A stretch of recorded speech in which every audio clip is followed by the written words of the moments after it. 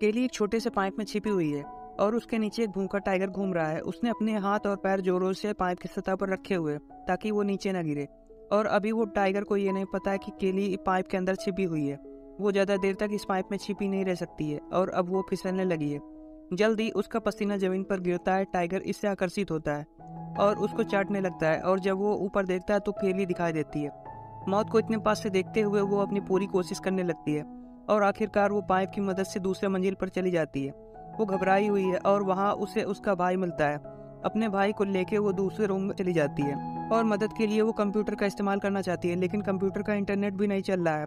चीता रूम के पास आ जाता है और केली परफ्यूम छिड़क कर बेड के नीचे छिप जाती है। चीता अंदर आ जाता है लेकिन परफ्यूम की खुशबू के कारण उन दोनों को सूंघ नहीं पा रहा है। टाइगर बेड पर चढ़ जाता है। वो दोनों बहुत ही ज़्यादा घबराए हुए हैं। कुछ सेकंड बाद टाइगर की आवाज़ बंद हो, हो गई है। लेकिन उसको ये नहीं पता कि टाइगर अभी रूम में मौजूद है।